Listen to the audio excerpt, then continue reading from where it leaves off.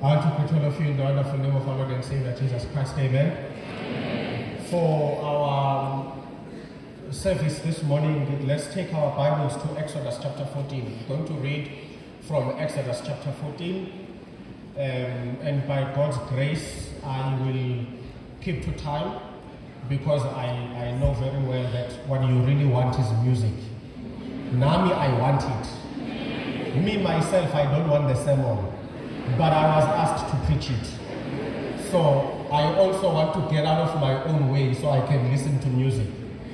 Um, Exodus chapter 14 is where we are. Exodus 14, that's the second book of the Bible. Genesis, Exodus, Exodus chapter 14. Bring your Bible to church.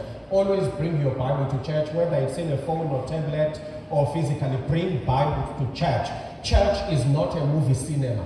We are not here to entertain you. Bring a Bible. We are not actors and we are just watching in a cinema. Bring your Bible. Can't go to church and not have a Bible. It doesn't work. Whether it's in a phone or tablet, I don't care where it is. It's not the pages that are holy, it's the content. Okay? But bring a Bible to church. Please, young people, bring a Bible to church. You, you can't delete the Bible app to make space for nonsense. There's an app that must never leave your, your phone. It's your Bible. Okay? Delete everything else. Delete photos. But keep the Bible. You understand? If you don't know where to store your photos, open a, a cloud account, store them there, but have a Bible because this thing that we are we are reading from the Bible and we are looking at us. You know, like I'm Steven Seagal. I'm not. It's, it's church, it's not entertainment. And, and, and also, this is why it matters. For over a thousand years in Christianity, the Roman Catholic Church refused for people to read the Bible. Only their priests could read it. But people died for you to read it for yourself. Now we have it, you are not reading it. It doesn't work. This is why pastors are making you drink petrol and all sorts of things. Because you're not reading your own Bible. You are hearing a man of God tell you, read, read your own Bible. Okay? So, so I'm that guy. It's very important to me that when I preach, you don't treat me like a movie. You follow from your own. Exodus 14. Um, we are going to start reading from verse 1. Follow me in your different versions and translations. Then the Lord said to Moses, Tell the children of Israel to turn back and camp near Pi Hahiroth, between Migdol and the sea. They are to encamp by the sea, directly opposite Baal Zephon.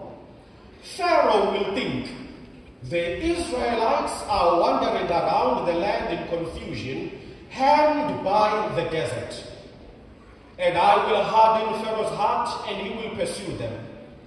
But I will again glorify uh, for my glorify myself through Pharaoh and all his army, and the Egyptians will know that I am the Lord.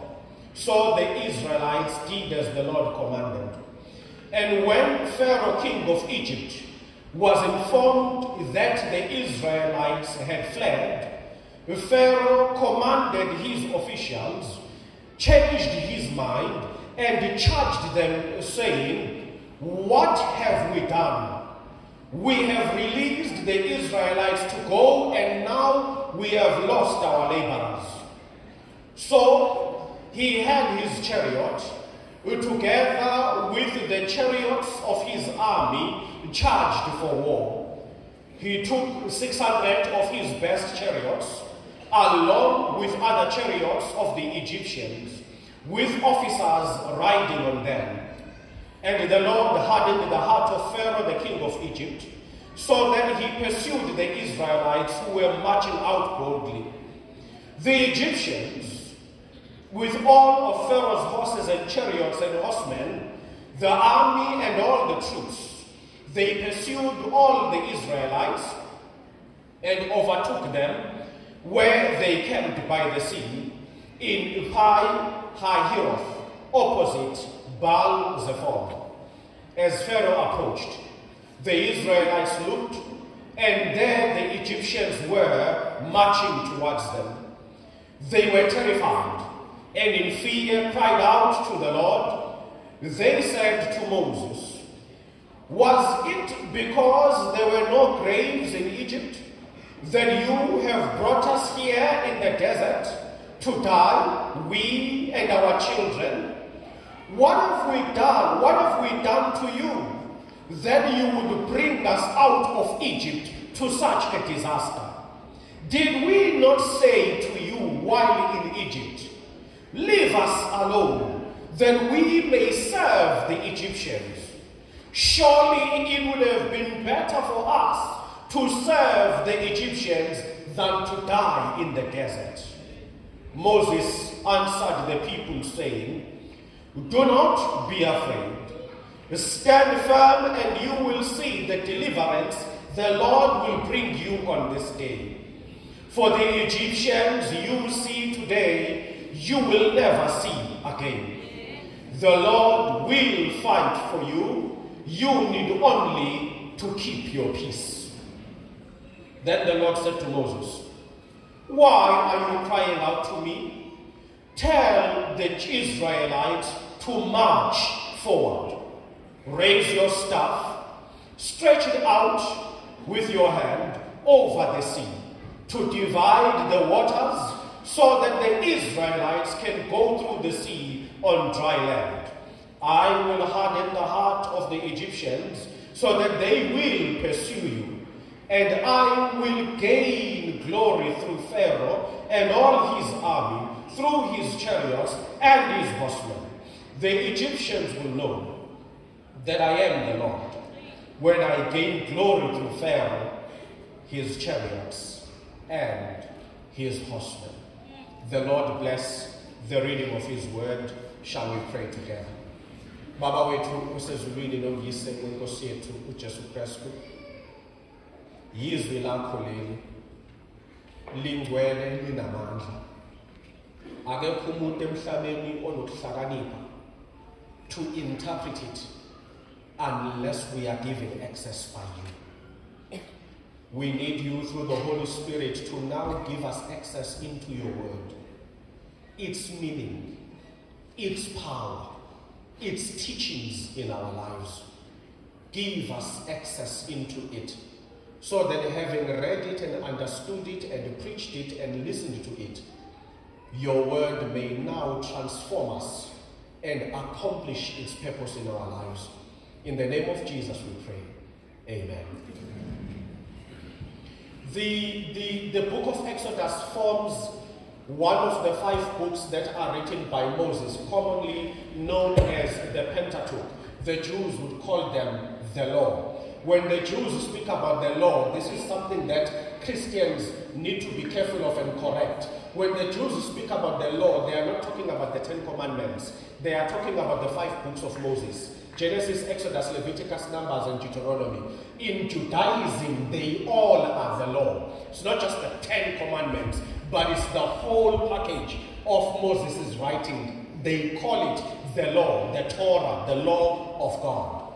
The second of these books of the law is, of course, Exodus. Genesis tells the history of the beginning. Secondly, it's Exodus. It tells the story of God delivering the Israelites and establishing a nation through which he would ultimately have the Messiah to be born. The book of Exodus, Genesis, Exodus, Leviticus, Numbers, and Deuteronomy, traditionally we all believe they were written by Moses, but of course, anyone who pays attention to the books quite carefully will realize that although Moses might have been the original author, but the final work we have is a result of generations of scribes polishing and making sure that the story are put through properly.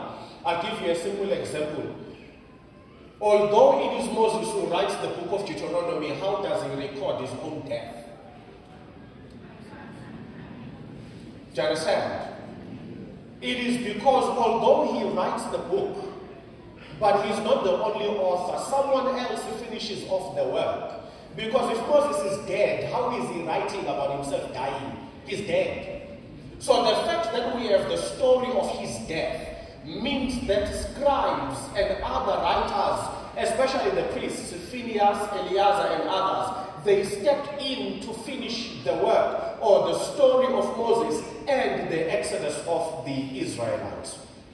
But I want us to focus specifically today on Exodus chapter 14. The story begins by telling us that the Israelites are now slaves to the Egyptians. And, and, and I think if, if, if, if you've ever paid attention in church, you will know why they are slaves to the Egyptians. It all began when Joseph was sold into slavery in Egypt. And after 20 years, he became the governor of Egypt.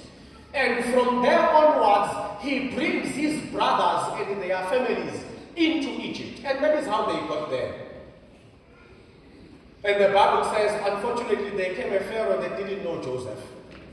And so the Israelites immediately became slaves to the Egyptians. And this happens for about 420, 430 years. At the end of this period, God calls a man called Moses from birth.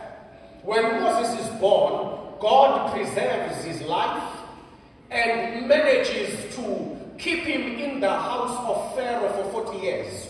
And this is interesting because Moses will one day deliver Israel from Pharaoh, but grows up in Pharaoh's house for 40 years first. But one day he will deliver the Israelites from the power of the Pharaohs, but spends his 40 years being taken care of by the Pharaohs. The same people he will need deliverance from one day are the same people who are taking care of him. By the way, it doesn't begin there. These are the same people who were killing the two year old boys but are raising him. They killed all the children under the age of two who are Hebrews. But when the princess found him, she raised him. So they are busy killing other children who are Hebrews but are raising this one. And, and, and, that's important because what it is teaching all of us is, is the fact that don't be quick to run away from your enemies. Some of your enemies are important to God, they will raise you. Some of the hardship you are going through, don't escape it. God is raising you in it. He is using it to take you somewhere. The problem is we like escaping. But we don't understand God does not escape. God uses every moment to glorify himself. So there are things that God allows you and I to go through. Not because he has no power to deliver, but because while it thinks it will destroy you, he thinks it will raise you. Oh, so sometimes you may fast asking for God to get you out. And God says, stay. And you say, no, but God get me out. And God says, no, no, no, no, no. You are not going anywhere. Stay. You are not staying because God is powerless to deliver. You are staying because God has realized keeping you there has greater benefits in the end than taking you out. Beloved, nobody has ever become great by having an easy life. I just want us all to get that idea out of our heads. Let me know why me, why am I suffering? Those are questions for average thinkers. God has never produced greatness in comfort. Make peace with it. Why me? Why was I born in poverty? No.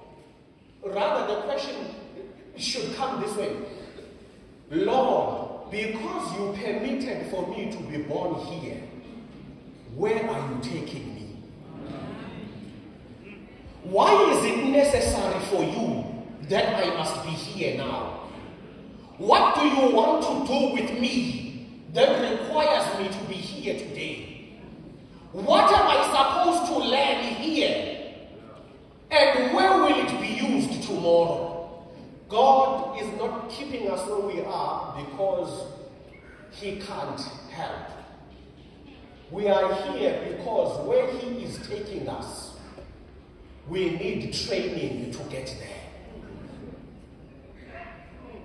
Please understand. I'm going to say something controversial. Zimbabwe will not be delivered by the Zimbabweans who left. They are Zimbabweans of comfort. God can't use them. They left. In other words, comfort was very important to them. The only Zimbabweans God can use to change this country are sitting here.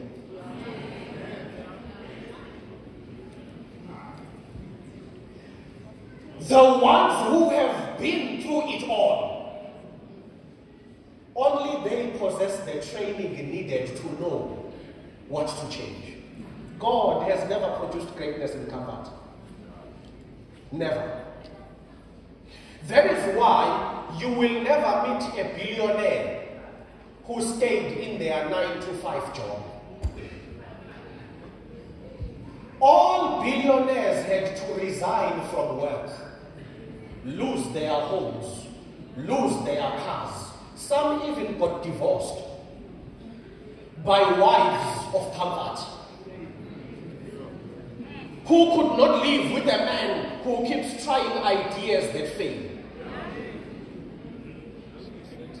But those guys are billionaires today because God has never produced greatness in comfort. The story of Gideon teaches you that. God says to Gideon, take them to the river to drink water. It's very simple.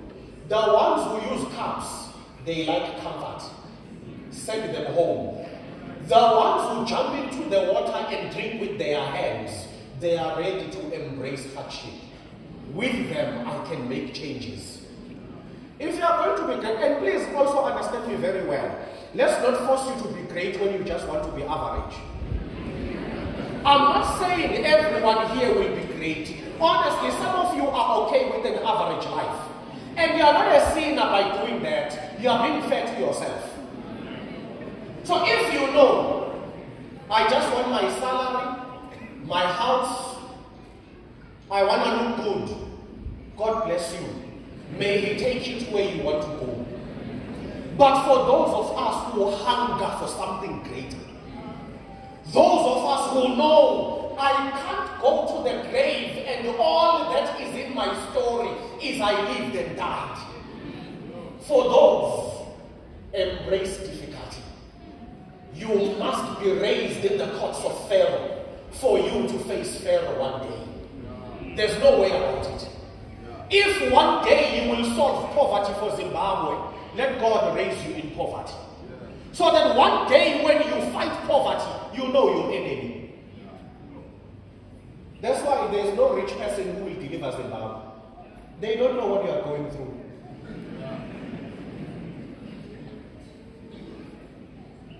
There's no billionaire who's coming for Zim or South Africa or Zambia.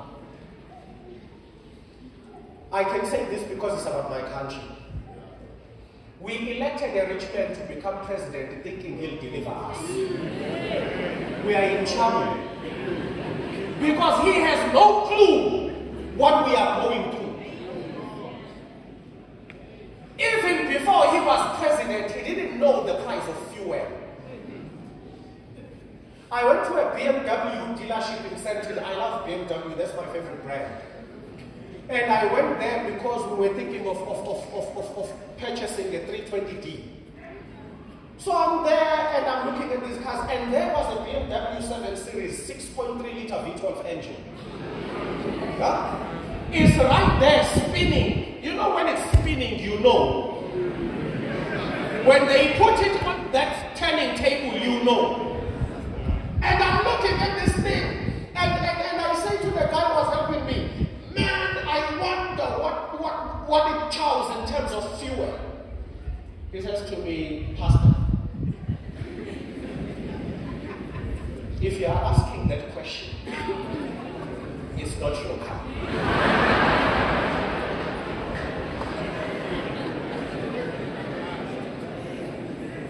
the people who buy this car have not known the price of bread for years.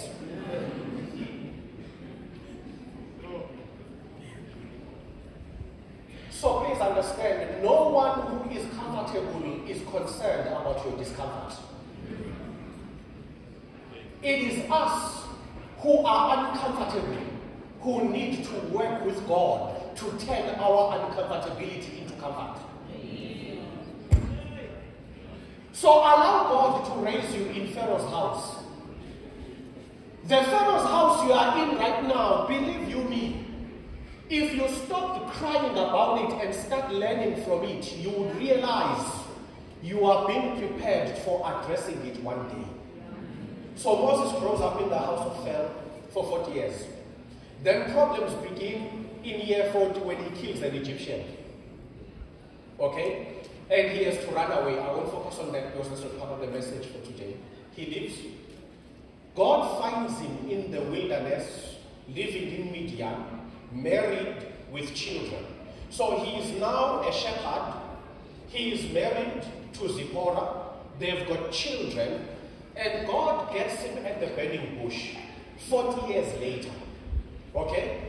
40 years after he ran away from Egypt. That matters for today's message. Please understand. The fact that God allows periods of silence in his vision for you does not mean he's forgotten the land. God was silent for 40 years. 40 full years. God is not speaking to Moses about anything. The last time Moses felt that God was speaking to him is when he saw the injustice of an Egyptian beating an Israelite and he intervened by killing the Egyptian. That was him his sense of justice telling him something is wrong. But after that day, God doesn't come back to say anything to Moses. For 40 years, God is silent. The fact that God has been silent for five years, for 10 years in your life is not proof God has abandoned you. God will return when the time is right. That's why the Bible says, when the time is right, I, the Lord, will make it he will make it happen. I know some of us begin to give up. I've been doing this business for five years. I, I, I, I'm not getting anywhere. I'm not winning clients. I've been doing this for 10 years. I'm not growing in my career. Now you are beginning to think of other things eh? to do. Witchcraft. because you are under pressure. The people you started with are now buying a second property, a third property. You have nothing. They are buying a third or fourth car, you've got nothing. And then you begin to say to yourself, wait a minute, maybe I need to try a different God. God has not forgotten you. When your time is right, you will have your burning bush experience. When your time is right. God returns after 40 years and he meets Moses at the burning bush and calls him. Now, Moses, has done his work. Now the children of Israel are leaving. And God then says, and these are the lessons I want to touch on, and then I'm done. Number one, God says to Moses, Lead the children of Israel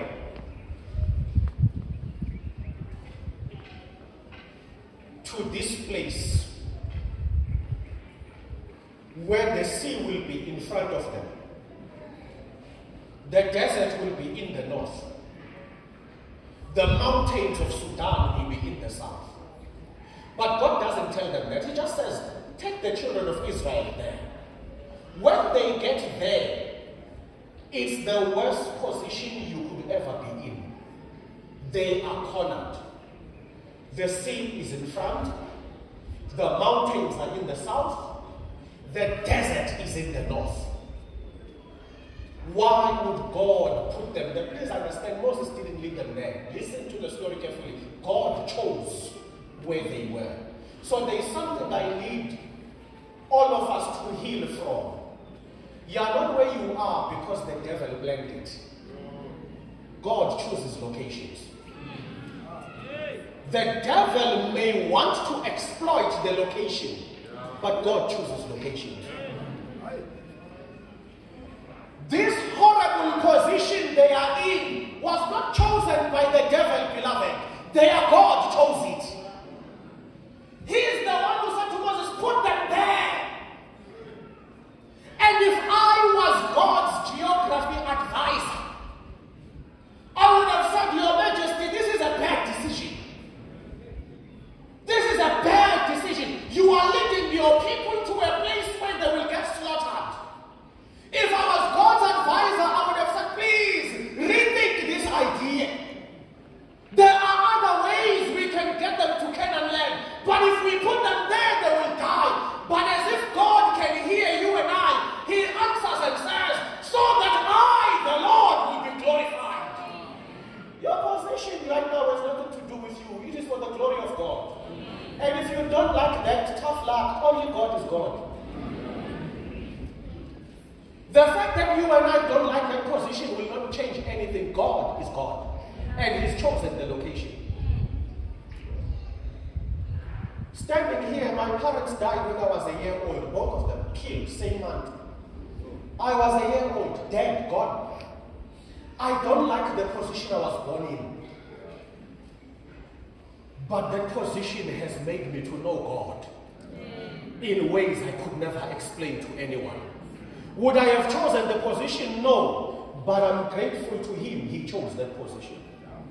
Because what He did with that position is something that even if I try to explain to you who've got parents, you won't get it.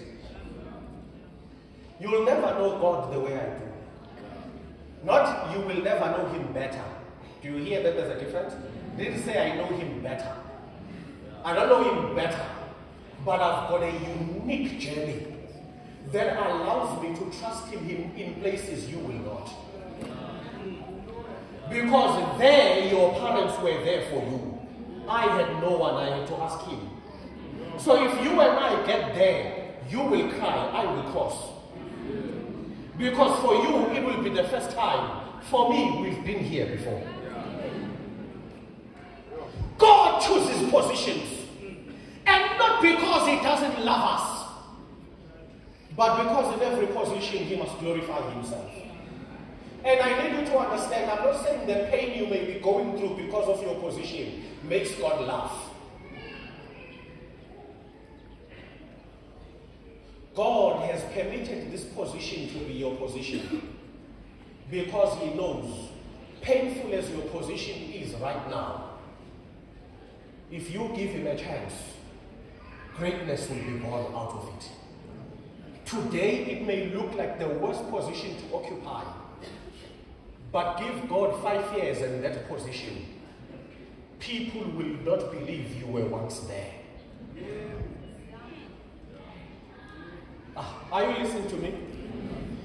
One, one of my favorite billionaires is the Chinese billionaire Jack Ma, the owner of Alibaba. Filthy rich guy. I think he's worth over 50 billion US dollars now. He says in one of his interviews,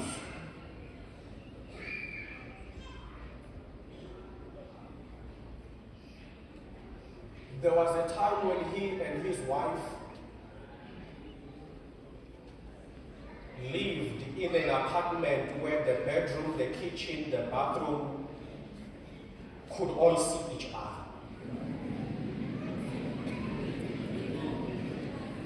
There was no such a thing called privacy. The one in the bed could see the one cooking, and the one cooking could see the one urinating.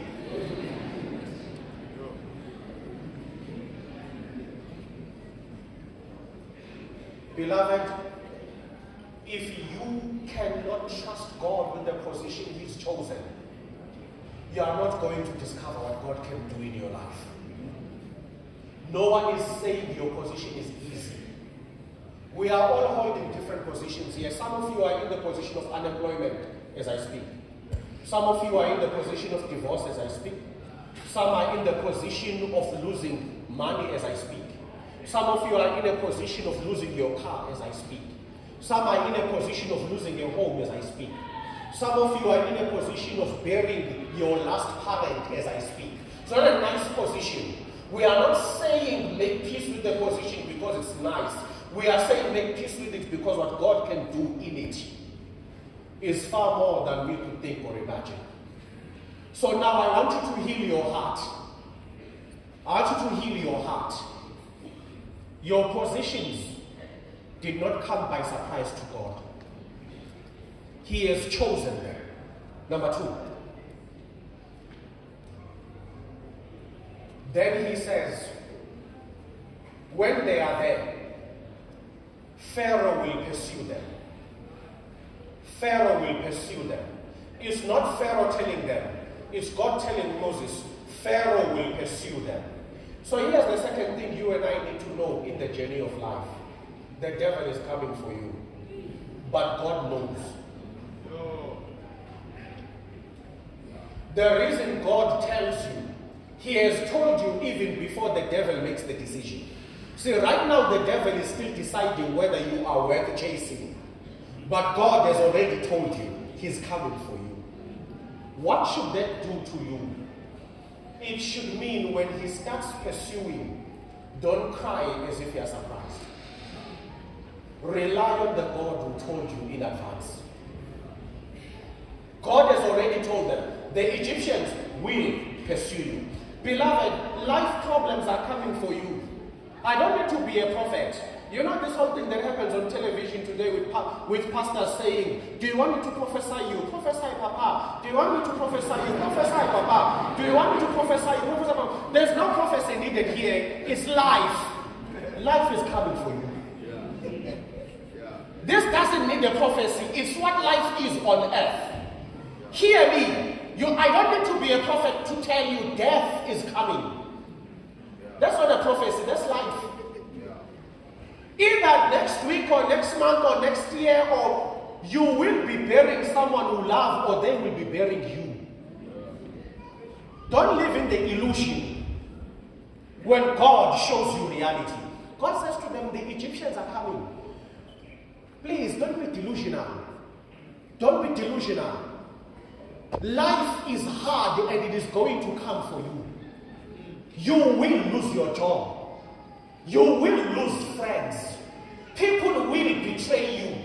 Eh? How could my best friend sleep with my husband? What do you mean? They are doing it all over the world. It's not about you. It's the pain of life. And it's coming for you. Now, knowing it doesn't mean smile. But it means because God has told you, when it happens, trust the one who knew in advance. Yeah. Yeah. Ah, are you with me? Yeah. When you get that call that says you need to come home because your mother is no more, God is not saying laugh, but He is saying, now turn to me who knew it was going to happen. Turn to me and ask me what plan did I prepare for you when I saw this coming? Turn to me and ask me, what am I going to do about what you are going through? Turn to me because you didn't know, I knew. So you can't now want to solve it. Ask me. I knew it was coming to you before you were born. So ask me what to do about it. Because the problem with humanity is we want to ask ourselves. You want to ask your best friend. Yeah? How do you deal with, what do you mean? How did your best friend you know he was coming? Ask him who knew in advance that this is the journey you will go through. Lastly,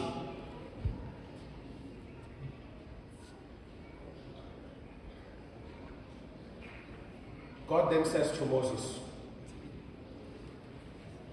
while they were camping there, they saw it. The Egyptians were coming. When they saw the Egyptians coming, they all cried out. Now they are crying to Moses, and Moses cries to God because Moses is the leader. So they are crying to Moses, How could you bring us here? We are going to die here, all sorts of things. And then Moses goes to God and says, Look, they are crying. I am crying. We are all crying because none of us know what we are going to do about this. And God says, Why do you cry cry to me. Tell the children of Israel to march forward. That statement makes sense if you compare it with the first one, where they speak. They say, how could you bring us here? We are going to die in the wilderness, us and our children, where there are no graves in, in Egypt. We told you, leave us alone. We are willing to serve the Egyptians. Now, this then explains what is happening. Beloved, please hear me very carefully.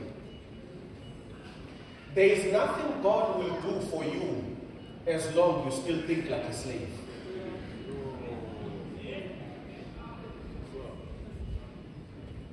The mentality of a slave will make you think like a slave even when freedom is in front of you. And this is what God is showing them. He is showing them, I have delivered you from Egypt, but Egypt is in you. Even when you are no longer in Egypt, you think as the Egyptians taught you to think. You've got to understand, beloved Bulawayo, the problem of Africa is not that God hasn't given freedom, it's that the African is slave in the mind. Africa's problem is no longer colonization. It's that Africans are imprisoned here. Africans are imprisoned in church. That is why Jesus saves the African, but the African would rather have salvation through a suit and a tie. Because no matter what the blood of Jesus has done, Africa cannot go to heaven without Europe's permission.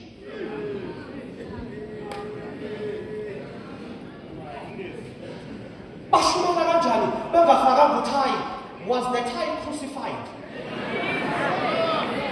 When you look at the cross do you see a suit hanging? Saying for them i'm dying there is nothing God can do for Africa now. He has answered all prayers. The problem now rests the minds of Africans. And for that, God can do nothing until the African thinks differently. How is it that we are the continent with all the minerals? But after electing Mnangagwa and Cyril Ramaphosa, they take a flight to, to England, to borrow money. They are leaving diamonds behind, gold behind. They take a flight to go to London and ask for a loan. The loan they are asking for, the European will take a flight to Africa, take the gold, sell it, loan the African money they were asking for. So you want to ask for a loan that is backed up by your property. This person sold your property in order to give you a loan. Problem is here. Africa. You know, hear me very well and contextually. Africans need to stop praying. It's not that our prayers have not been heard. God has heard all of them. The problem is the, the power in the prayers is not being used. Africa is the one continent that prays more than all of them but is achieving nothing. Even in Europe, who are the Christians? Africans. You have filled churches all over the world praying. While you are praying, other nations are using brains. China will take over Zimbabwe when you are praying. I'm not impressed when someone says Zimbabwe has the highest number of Adventists in Africa. Then I say, who have done what? So this big number you are glorifying, how has it helped Zimbabwe to be better economically? You should embarrassed to be in a big number but suffering with everyone. It means your religion is useless to the problems of the country. It means your Sabbath keeping is useless to, to Zimbabwe's problem. We, we've got the biggest number in Africa, but you are poor, but you've got the biggest. How does it work? The problem is here. God is no longer needing many weeks of prayers in Africa. All he needs now is for the Africans to get up from their knees and use the power they've been praying for. We've been praying, God has heard us, God is not deaf. Now get up and do something with the things you've been praying for. What God shows us in Exodus 14 is that even if you give a slave freedom, the slave will still cry for Egypt. Were there no graves in Egypt? Why? Because a slave would rather be buried in comfort than succeed in difficulty. What matters to them is dying comfortably than succeeding in hardship. That's the problem with the slave mentality. You can then go to your churches and complain, oh, Mazibuko, they are preaching politics in the pulpit, but here's what is clear. We refuse to preach a religion that doesn't solve our people's problems. We are tired of Christianity that promises us a second coming while other nationalities are enjoying life here. Why should God make Africa wait for the second coming? Why didn't he tell the Europeans to do the same thing? If the second coming solves all problems, why didn't God say to the Europeans, you also don't succeed? I'll solve you when I come again. Why hasn't God told China the same thing? Because the Chinese are, are growing powerful every day. If the second coming will solve everything, why hasn't God gone to China and said, no, no, no, hold your horses, I'll solve you when I come again? Why does this message only matter for Africa? Jesus is coming. Yes, Jesus is coming and we believe it. But nothing in the second coming says, suffer while I wait, while you wait. You can wait and prosper. You can wait and be happy. But it's about changing this. Beloved, if you are still more concerned about being buried in Egypt, than crossing the desert and thriving in Canaan land. My suggestion is stop praying. You are wasting God's time. Because read your Bible carefully. Prayers are not supposed to be a speech to God. They are a transaction. In a prayer, you give faith, He gives power. When you get up, you take that power and use it. But if your prayer life is speeches to God, then clearly we don't understand what we are praying for. When you kneel to pray, it's because you are asking for power to do something. Why are you kneeling to pray when you are not ready to transform? Because when you are praying, you are asking God to give you power to achieve. What's the point of being given power when you are not ready to do the work? So all Africa is kneeling, oh Lord, hear us. To do what with the power that He will give? To do what? To still wake up. Think about this. We've got guys who are going to God every day. Oh, please, please hear my prayers. To do what? So that when God has given you power, you will then say, uh, you, you, you, your, your dream is to, to, to marry a man who will take care of you. So why must God answer your prayers? Let him just answer the prayers of the guy who will take care of you. Because you clearly don't want to do anything. Imagine me, a God, listening to a girl Lord, hear my prayers. And I'm thinking, but your dream is for a man to take care of you. So basically, I don't need to hear you. I must just hear that guy. Because he wants to do something with his life.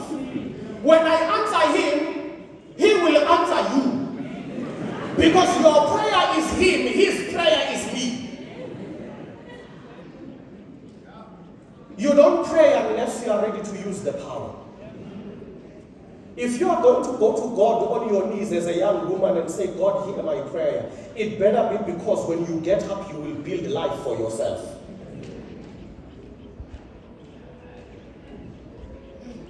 We cannot go to God as a young man and say, Lord, hear my prayer. And then when you get up from there, you go pay a bribe. Why did you pray? You already knew the solution. Something doesn't make sense about praying and then paying a bribe. You already knew how to open the door. Why were you praying? Take your money, bribe someone. You know what to do. People will pray on their journey to bribe a government official. Oh Lord, be with us on this journey. Do you You are going there to bribe someone. Therefore, prayer is unnecessary because there's no power required help you. Prayer is for people who are saying, Lord, I refuse to do what is wrong in your sight. I'm going to meet the mayor of this city. Go with me. Because then when you get there, when the mayor wishes to request a bribe, then the kingdom of God will silence him and say, this is our child. You will give him the signature he needs without immorality. And he will find himself signing. And he will find himself asking, but how did I give them? Because you prayed, then prayer supplied power. But you can't pray and then pay a bribe. Beloved, all I am saying to you is simple. I'm impressed to see so many young people attending here today. But then we need to solve one problem. These numbers mean nothing if you are still thinking like slaves. You can't have so many young Adventists here and Zimbabwe is still suffering. It means the numbers are large but the brains are small. Don't feel bad, it's happening everywhere in South Africa as well. Many numbers, you come for a camp meeting, hundreds of people. But you look at what is happening in our country, you can tell the brains are small. Because although we've got the numbers, we are lacking the liberation of the mind.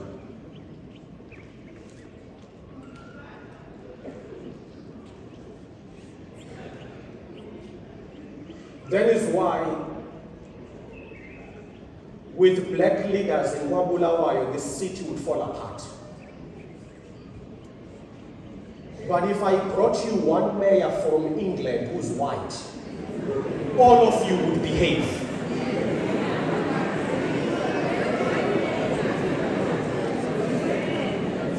You've already imported.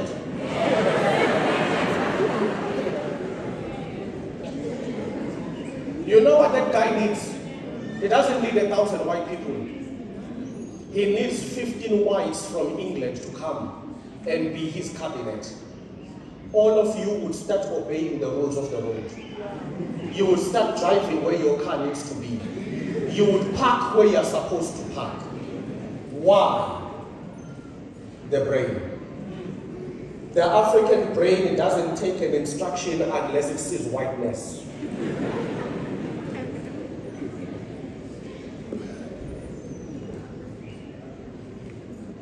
Many of the things I have said may have been phrased in humor.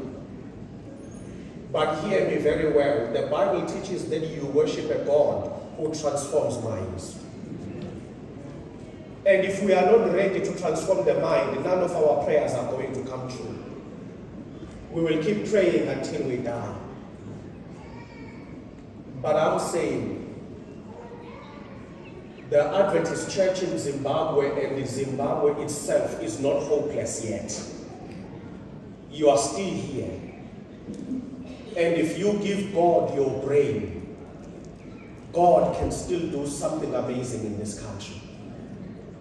But first, he needs a brain that doesn't worship Egypt. He needs a brain that is willing to cross the desert to make a difference. Hear me. Hear me, please. Please hear me. I am pushing an agenda of Africans who will not immigrate to London. Africans who will stay and solve their continent. I'm not apologetic about it. I refuse to believe God loves whites more than us. I refuse to believe they are smarter than us. They can't build those cities and we can't as if we don't have brains. It's all about the transformation of the mind. And I'm making an appeal to you. Let's not relocate to London. Let's fix our homeland. But not by praying endlessly. We've done the praying. And I can guarantee you God has heard us. Now we need to get up and do something. For our children, for their children, and their children's children until Jesus comes, you and I must do something. But we need to start thinking like free people, not like slaves. So I'm praying now. I'm going to make an appeal for the slaves to remain seated. May sound funny, but quite honestly, if you are not ready for God to use you to make a change, sit. But if we are burning inside with the desire of a better country, a better family, a better lifestyle, a better continent, a better church, a better way of revealing Christ to the world, then you need to stand with me and we pray because we need God to transform our minds. And we can't do this as long as we still think like slaves. Something has to change. And if you are in that position, stand we pray. If you are at peace, you don't want problems, sit. God will take care of you. Don't worry, I promise you. No one is cursing you. God will take care of you. But if you know that you want God to do something in your lifetime, in your generation, that Bulawayo, Zimbabwe will never forget, that Africa will look back at and say, these are the generation who changed our story. They accepted the invitation from God to walk away from thinking like slaves and start thinking like sons and daughters of God then that is what we want. It is my prayer that you will not only change your life personally, but that before you hit the grave, you will have done your part in making this country a better country. No more excuses. No more waiting for people to come from outside and deliver us. Let God transform our minds and change our lives. Shall we pray together? Father, in the name of Jesus, we are young, we are intelligent, we are gifted. Some of us are in the middle of our lives, experienced, wise, There is just one thing we need. We need you to give us brain surgery. We think like losers. We think like slaves. We think like people who have not been purchased with the blood.